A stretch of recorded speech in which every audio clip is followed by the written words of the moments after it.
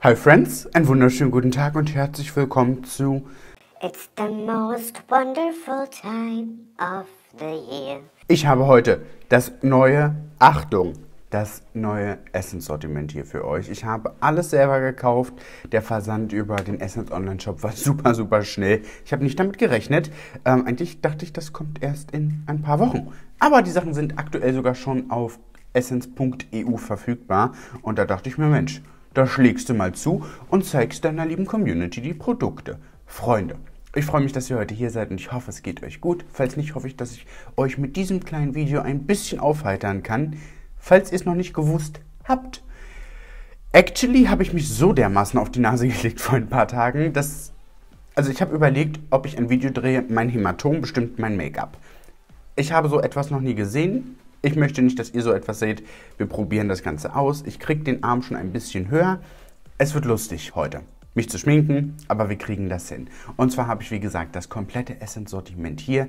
Nicht ganz das komplette, manche Sachen habe ich einfach ausgelassen, weil eine neue Blushfarbe brauche ich nicht. Wir schminken aber heute einen schönen Look, beziehungsweise sogar zwei Looks mit den neuen Produkten, die ihr ab sofort online kaufen könnt und ich glaube ab 1.3. sogar in der Filiale. Ich bin gespannt, vielleicht habt ihr ja schon das ein oder andere Produkt gesehen. Falls nicht, bleibt auf jeden Fall bis zum Ende dran. Auch in diesem Video verlose ich wieder ein dickes, fettes Make-up-Paket. Es macht euch super viel Spaß, dass ich nicht nur auf Instagram sondern auch auf YouTube hier was verlose. Ihr müsst einfach nur dieses Emoji mitzählen, was selbstverständlich noch nicht mitzählt und schreibt mir dann gerne die Anzahl dieser Emojis in die Kommentare und wie ich euch kontaktieren kann und in einer Woche schreibe ich die Person dann an. Und falls ihr hier neu seid, Freunde, you know it, würde ich mich freuen, wenn ihr meinen Kanal abonniert. Das kostet euch nichts. Es ist ganz kostenlos und mir bedeutet es wirklich die Welt. Aktuell ist YouTube sehr, sehr schwierig für mich und ähm, ja, ich würde mich freuen, wenn ihr mich da ein bisschen unterstützt. Ich sehe noch ein bisschen müde aus. Es ist 6.44 Uhr. Äh, ich bin aber früh ins Bett gegangen gestern, weil irgendwann tat der Arm dann einfach weh und ich hatte keine Lust mehr. Und wir fangen als erstes mit dem ersten Produkt an. Und das ist aus der Hello Good Stuff Reihe. Der Milky Face Moisturizer. Beruhigend, feuchtigkeitsspendend mit Kurkuma. Der hat 96% natürliche Inhaltsstoffe. Ohne Silikone, ohne Mikroplastik, ohne Mineralöle, ohne Parabene und keine PEGs. Das ist etwas, was ich ganz spannend finde, denn ich habe das Gefühl, das steht auf fast allen Produkten von Essence mittlerweile drauf. Sie haben viele Sachen neu rausgebracht. Sie haben viele Sachen einfach überarbeitet und haben auf diese Zusatzstoffe verzichtet. Und wenn das funktioniert, ist das fantastisch, weil das heißt dann eigentlich, dass alle anderen Marken das auch nicht mehr bräuchten. Essence geht da immer, finde ich, ganz gut voran, auch was vegan und cruelty-free mit angeht. Deswegen bin ich sehr gespannt, die Sachen auszuprobieren. Die Produkte sind alle recht günstig und wir probieren das Ganze mal aus. Das Ganze kommt in so einem Pumpkopf. Auch das finde ich ganz spannend. Das ist ein Glasfläschchen, also auch hier weniger Plastik und ein Pumpspender. Okay.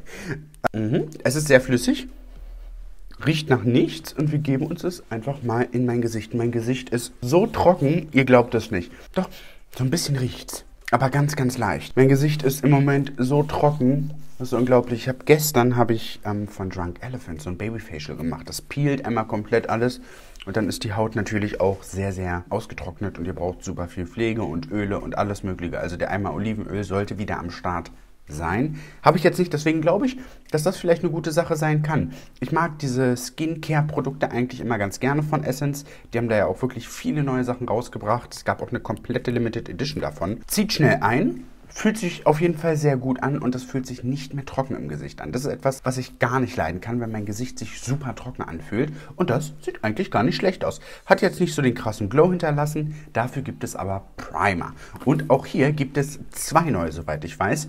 Einmal den Prime Plus Studio. Das ist äh, eine Primer-Reihe, die gab es schon von Essence. Da gibt es, glaube ich, mittlerweile vier oder fünf verschiedene. Und das ist der Putty Primer. Ohne Silikone. Und das ist ziemlich gut. Also diese Putty Primer oder diese Pore Blurring Primer bestehen ja eigentlich nur aus Silikon. Hier ist aber kein Silikon mit drin. Und hier sind Squalane drin, die die Haut so ein bisschen weicher machen sollen. Also Squalane ist ein Skincare Ingredient. Der soll super lightweight sein, infused mit Squalan, eine perfekt porenlose, weiche Complexion, ohne Silikone. Eine samtige Textur, die sich einfach ausblenden lässt. Den schminken wir auf die eine Hälfte des Gesichts und auf die andere Seite kommt ein anderer Primer. Und das ist aus der neuen Skin Love and Sensitive Reihe der Primer mit Feuchtigkeit und Nourishing, also nährend. Wow, diese Übersetzungen sind immer on point. Nicht komedogen und mit Aloe Vera. Auch hier ist wieder alles draußen, was da eigentlich nicht reingehört. Mineralöle, Parabene, das, was ich euch vorhin auch schon vorgelesen habe. Das wird jetzt hier in den nächsten Produkten ein bisschen öfter vorkommen. Wir tragen uns auf jeden Fall als erstes den Prime Plus Studio Primer auf. Die mag ich wirklich gerne. Ich habe ja neulich auch schon ähm, uh, den gelben wieder benutzt. Der ist so ganz leicht rosa. Erinnert ihr euch, ich weiß nicht, ob ihr mir schon so lange folgt, ich habe vor, oh Gott, anderthalb Jahren, da war dieser Toucher Silk Canvas Primer total gehypt, der von der Textur her ähnlich war. Der riecht genauso und fühlt sich genau so an. Ist ja verrückt. Elf hatte ja dann auch einen ähnlichen rausgebracht. Ich finde ganz ehrlich, ihn in einer Quetschtube aber viel, viel besser als in diesem Döschen, wo man dann mit so einem Spatel reingehen muss. Das ist immer super unhygienisch, fand ich. Und mit so einer Quetschtube ist das gar nicht schlecht. Ich weiß nicht, ob ihr es sehen könnt, aber die Seite ist komplett mattiert. Also das ist kein Glow Primer, der ist auf jeden Fall matt. Das ist, du merkst schon, hier ist jetzt was im Gesicht und die Poren sind so ein bisschen weich gezeichnet. Ich weiß nicht, ob ihr den Unterschied sehen könnt. Vielleicht schon, ganz leicht. Ich bin gespannt, wie die Foundation da drauf funktioniert. Ich mag diese Poreless Putty Primer eigentlich immer ganz gerne. Vor allem in der Quetschtube ist das eine super Sache. Wie gesagt, es ist hygienischer und das macht ein schönes Finish. Falls ihr eher zu trockener Haut neigen solltet, kann ich euch diese Dinger empfehlen, wenn ihr sie einfach wirklich nur im Porenbereich auftragt. Ansonsten glaube ich, wird das zu trocken und das wird so ein paar Flakes, also so Hautflocken, die ihr auf der Haut vielleicht habt, ein bisschen unterstützen. Auf der anderen Seite kommt der Skin Love Sensitive Primer rauf. Der hat Aloe Vera drauf und davon erhoffe ich mir jetzt tatsächlich einen Unterschied. Der ist so ein bisschen weißlicher, so ein bisschen wie, riecht jetzt nichts, Mhm. Auch ähnlich von der Konsistenz her und so vom Verblendeverhalten wie die Charlotte Tilbury Magic Cream Light. Das ist so krass, ne? Ihr merkt sofort einen Unterschied. Ich finde, hier fühlt sich das schon wieder extrem trocken an durch den Primer. Hier jetzt richtig schön gepflegt. Also man merkt sofort einen Unterschied im Gesicht. Ich weiß nicht, ob ihr einen sehen könnt. Ich glaube nicht. Den mag ich sehr gerne. Also vom ersten Eindruck, der gefällt mir sehr, sehr gut. Schöne Feuchtigkeit. Zieht schnell ein. Fühlt sich ganz weich an. Freunde, Freunde, Freunde, wir müssen reden. Erinnert ihr euch noch an die Stay All Day 16 Stunden Foundation von Essence? Genau. Die gibt es jetzt auch. Neu formuliert, neu verpackt mit einer Glasflasche. Sieht so aus. Vorher war die ja in Plastik verpackt. Finde ich so persönlich auch viel, viel besser. Und hier sind jetzt auch keine Öle mehr drin, kein Mikroplastik und keine Silikone. Also neu formuliert. Können wir ganz kurz darüber reden? Und ich weiß, alle sind genervt, aber ich muss es sagen. Ich muss es sagen. Und ich will es auch weiter sagen. Das hier ist die dunkelste Farbe. Das ist die 30, Soft Sand. Es tut mir leid, es geht nicht. Wenn man schon dabei ist, etwas neu zu formulieren, dann pack doch bitte noch wenigstens vier Farben mit dazu, die ein bisschen dunkler sind. Vor allen Dingen, und das ist das, was mich am meisten so ein bisschen geärgert hat, wenn du eine Pretty Natural Foundation rausgebracht hast mit einer mit der krassesten Shade Range überhaupt für eine Drogerie Foundation für den Preis. Ihr müsst euch überlegen, eine Foundation zu entwickeln ist unglaublich teuer. Deswegen machen das auch kleine Brands eigentlich nicht, sondern eher wirklich, wenn sie gut laufen. Und Essence funktioniert ja gut und sie haben es ja auch mit der Pretty Natural Foundation geschafft. Aber wenn ihr doch schon dabei seid, Freunde, bitte. Das, das kann nicht sein. Ich meine, selbst das wird mir zu hell sein, denke ich. Also, please, vielleicht kommt auch noch was. Online gibt es sechs Farben, in der Drogerie wahrscheinlich werden es drei sein. Vielleicht kommt da noch was. Ähm, vielleicht aufgrund von Corona hat sich das alles ein bisschen verzögert, kann ich mir aber persönlich nicht so vorstellen. Also da bin ich ein bisschen enttäuscht, aber das ist nicht nur bei Essen so, das ist gefühlt bei jeder anderen Marke mittlerweile so, dass ich sage, ey Freunde, geht, es geht nicht, dann, dann lasst es. Wir machen weiter mit der Foundation. Ich finde es gut, dass sie jetzt in der Plastikverpackung nicht mehr da ist, sondern jetzt Glas hat. Der Pumpspender ist natürlich noch Plastik, aber ich habe auch noch keinen Pumpspender aus Glas gesehen. Von der Konsistenz eher ähnlich wie die, äh, die, die davor. Und ich nehme hier meinen Foundation-Pinsel und wir fangen mal an. Ich mochte die Foundation sehr gerne. Okay, Color Match passt bei mir. heißt, heißt aber auch, ich bin, ihr kennt meine Hautfarbe. Also, ne? Color Match sehr gut. Deckkraft ist sehr, sehr gut. Stay Alter, ich überlege gerade, wie ich die vorher fand. Ich meine, sie war wirklich gut. Ich muss mich mal kurz so ein bisschen abstützen hier. Hat keine Duftstoffe mit drin, ne? Also die riecht wie eine Foundation ohne Duftstoffe. Das muss ich euch sagen. Was mich persönlich nicht stört. Also es ist jetzt nicht so, dass ich sage, oh, da wird mir schlecht von. Aber ihr habt auf jeden Fall eine sehr, sehr angenehme Deckkraft. Das Finish auf der Haut mag ich auch sehr gerne. Also das ist eine sehr, sehr gute Foundation. Das muss man sagen. Essence macht gute Base-Produkte für den Preis. Ihr dürft nicht vergessen, ich meine, die, welche Foundation war denn so ein Flop? Die Gucci Foundation. Die war ja nicht ein richtiger Flop, aber die kostet halt einfach 60 Euro fast. Diese Foundation kostet ein Bruchteil. Einen Bruchteil. Das merkst du gar nicht im Vergleich zu der Gucci Foundation. Finish, sehr, sehr schön. Ist halt ein natürliches Finish, ne? Also so von der, von der Haptik her. Ich war jetzt aber auch eher auf der, auf der matten Seite mit dem Paulus Putty Primer. Deswegen machen wir mal weiter mit äh, der anderen Seite. Die trocknet so ein bisschen rosafarben runter. Ich weiß nicht, ob ihr das erkennen könnt. Habt ihr euch schon mal nur mit der falschen Hand geschminkt? Mir die letzten drei Tage. Ich weiß nicht, ob ihr es erkennen könnt, die Foundation oxidiert ein kleines Stück. Also ich würde sagen, so anderthalb Nuancen wird sie ein bisschen dunkler und die 30 wird auch so ein bisschen rosafarbener. Ich habe sie, wie gesagt, auch noch in zwei anderen Farben gekauft, weil ich auf dem Foto dachte sie ist wirklich ein bisschen dunkler, das ist jetzt aber exakt meine Farbe. Finish gefällt mir gut. Ich persönlich würde sie jetzt tatsächlich nicht abpudern, wenn ich jetzt äh, nicht rausgehen würde. Ich mag diesen leichten, zarten Glow. Mir persönlich gefällt sie auf der Feuchtigkeitsspendenden Primer mh, hm, nicht so gut wie hier. Also hier sieht sie sehr, sehr ebenmäßig aus. Es liegt aber an dem Primer. Also das muss man immer so ein bisschen von Haut zu Haut angucken. Ich habe eine recht texturfreie Haut schon von Hause aus, beziehungsweise von vielen Produkten aus, die ich ja benutze, dass die Hautoberfläche sehr weich ist. Hier ist es aber so ein bisschen unruhiger im Vergleich. Wenn ich die Seite jetzt nicht hätte, würde ich dazu nichts sagen. Es geht weiter, Freunde, aus der Skin Loving Reihe. Da gibt es Concealer in drei Farben. Aber Concealer hatte, glaube ich, Essence auch noch nicht so wirklich dunkle rausgebracht. Aber trotzdem, es ist ja keine Entschuldigung. Äh, das ist der Skin Loving Sensitive Concealer. Auch hier nicht komedogen mit Aloe Vera, ohne den ganzen Quatsch. Und das ist die Farbe 020. Vielleicht gab es den noch in einer 30. Nee, nee, den gab es nicht in einer 030 online. Den gab es in Fair, Medium und Light. So, und ich habe die dunkelste Farbe hier. Und der soll wohl eine sehr, sehr gute Deckkraft haben. Ich mache mal hier erstmal die halbe Seite. Der ist natürlich schon sehr hell jetzt, ne? Aber sieht trotzdem sehr deckend aus. Also ich glaube, ihr könnt sehen, die Reflexion auf dem Concealer und den lassen wir einmal ganz kurz antrocknen und dann machen wir weiter. Ich habe ihn jetzt einmal so halbwegs ausgeblendet. Also die Deckkraft finde ich persönlich gar nicht schlecht. Ich würde jetzt gleich noch mit einer zweiten Schicht rübergehen und den nochmal wesentlich länger antrocknen. Der ist halt sehr feucht. Ne? Also das ist nicht so Tarte Shape Tape, sehr dick. Der ist recht flüssig. Das Füßchen ist sehr, sehr gut. Ich zeige euch das nochmal. Das ist so ein flaches Füßchen. Ich mag diese flachen Füßchen sehr, sehr gerne. Bin ehrlich gesagt im Moment nicht mehr so ein Fan vom Tarte Shape Tape Füßchen. Mir ist das zu unpräzise. Ich möchte hier beispielsweise eine sehr, sehr scharfe Linie erzeugen können. Und das kann ich mit so einem Füßchen wesentlich besser. So, ich habe euch ein Stückchen näher rangeholt, damit ihr euch das Ergebnis einmal anschauen könnt.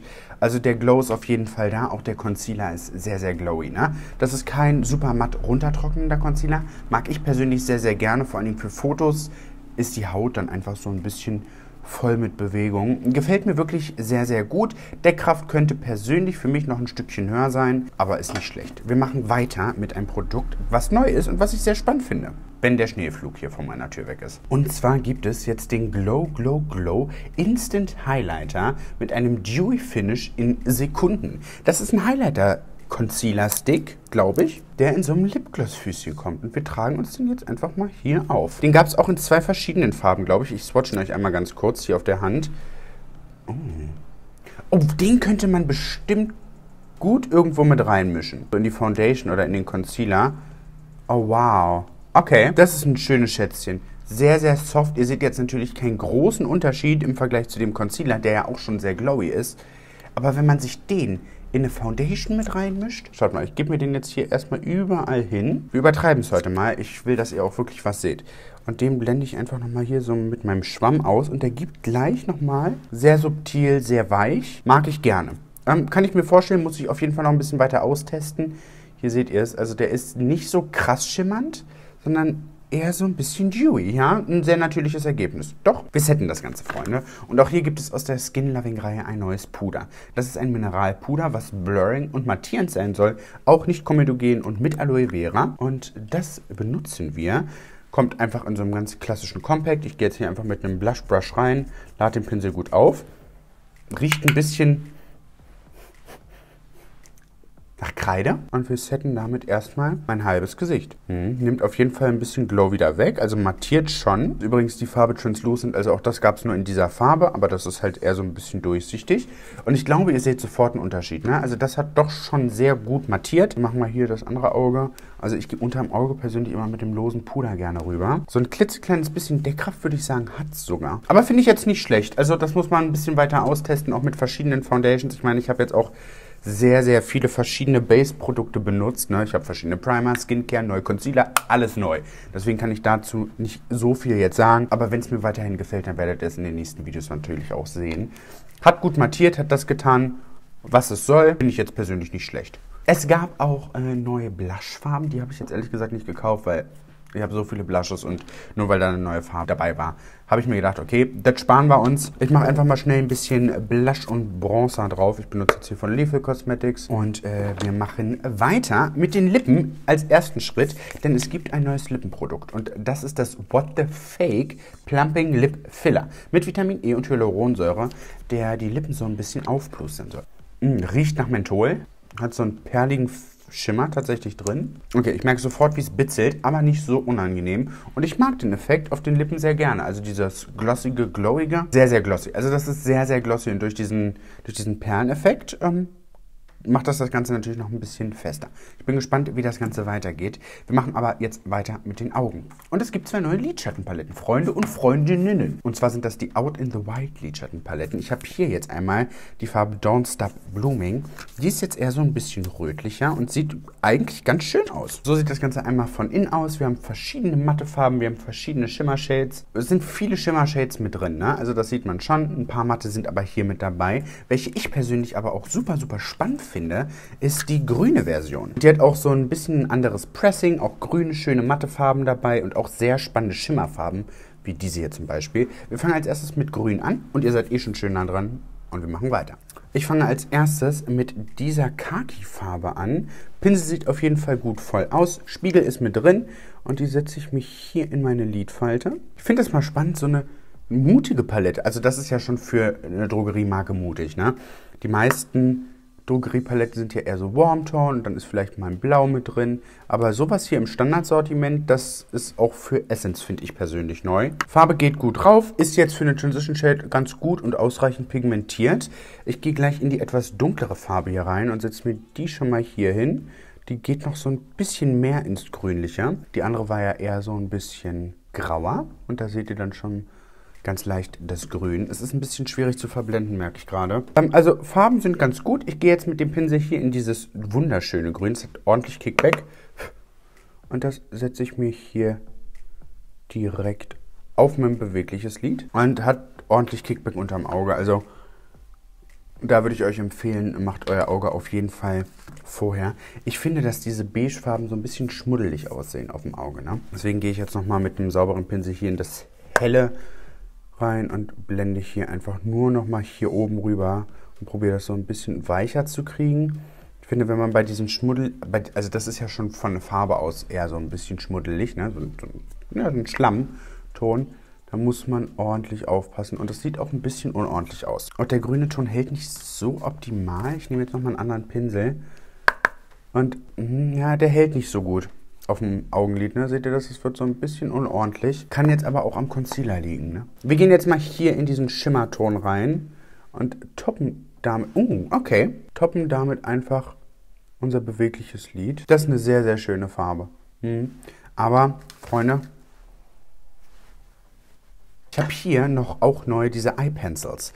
Damit gehe ich jetzt an meinen unteren Wimpernkranz und auf meine Wasserlinie. Und so eine grünen Eyeliner finde ich eigentlich ganz spannend. Schaut mal, das macht das Ganze wirklich nochmal so ein bisschen grüner. Und das ist eine sehr, sehr schöne Farbe. Ähm, das gefällt mir gut, dieser grüne Eye Pencil. Ja, Kaya Pencil, Rainforest 29. Hm. Also die Schimmertöne sind schon schön. Ich persönlich bin kein Fan von diesen Schlammtönen. Also es sieht immer ein bisschen unordentlich aus. Gar nicht so schlimm. Wir haben auf jeden Fall schöne Schimmertöne mit drin und mit diesem grünen Kajal das gibt dem Ganzen nochmal einen anderen Effekt. Gehe jetzt nochmal mit einem kleinen Pinsel in dieses Grün hier und setze mir das nochmal hier oben rauf für noch ein bisschen mehr Bewegung. Auch sehr, sehr schön. Toll. Alleine deswegen kann man sich das ruhig mal gönnen, weil ich kenne keine grüne Lidschattenpalette im Standardsortiment in der Drogerie. Gebe mir die helle Farbe hier unten noch an mein Inner Corner Auch die ist sehr silbern und direkt hier unter meine Augenbraue. Und das wertet das Ganze auf jeden Fall auf. Also diese Schimmertöne, top. Die Mattentöne, naja. Weiter mit der anderen Seite und da haben wir hier die rote Palette. Auch die ist sehr, sehr schön gemacht. Wir haben schöne matte Shades drin, optisch zumindest. Und wir haben auch schöne Shimmer-Shades mit drin. Das ist eher so eine klassischere Palette. Ich vermute auch einfach, dass das besser laufen wird. Das ist, das ist ja oft so, dass diese, ich sag jetzt mal Standardpaletten an den Farben immer einfach ein bisschen besser laufen. Deswegen sieht man diese Farben und diese Paletten auch einfach immer öfter in der Drogerie, weil sie halt am besten laufen. Ich probiere jetzt mal was und zwar sette ich mein Augenlid jetzt mal komplett mit Puder. Vielleicht lag es ja daran. Wir können ja, wir haben ja Gott sei Dank zwei Augen. Ähm, da ist es ja mal was ganz Gutes. Ich nehme hier den Pinsel hier, der ist jetzt von BH und gehe in diesen Ton hier rein. Das ist so ein schöner, ja, Mauve. Und den setze ich mir hier hin. Uh ja, okay. Das, also, ah, hm, hm, hm, schaut mal, wie viel, viel weicher der Lidschatten gleich auf dem Auge gleitet. Also, ich nehme alles zurück. Sehr pigmentiert für so einen Mauve, ne? Wir gehen weiter dunkler in diesen roten Ton hier. Und den setze ich mich hier außen hin und damit gehe ich dann direkt einfach auf mein Lid. Das ist schon die dunkelste rote Farbe, ne? Also es gibt noch so ein Schwarz hier oder so ein Grauschwarz, Anthrazit, aber das ist die dunkelste rote Farbe. Okay? Auch die ist jetzt nicht so ultra intens, ne? Die blendet sich so ein bisschen weicher aus. Gehe jetzt nochmal mit dem Finger hier in den Schimmerton rein und setze mir den hier einfach oben rüber. Auch der ist recht soft. Ich mische nochmal hier so ein bisschen was von rein. Die sind alle so sehr soft schimmernd, ne? Ah, da bin ich jetzt nicht so ein Fan von. Ich gehe nochmal hier rein, zeige euch nochmal die Farbe. Also es sieht auf dem Finger schon ganz krass aus, aber auf dem Auge ist es dann recht weich. Ne? Also es ist jetzt nicht so ein Metallic wie beispielsweise diese grünen Töne.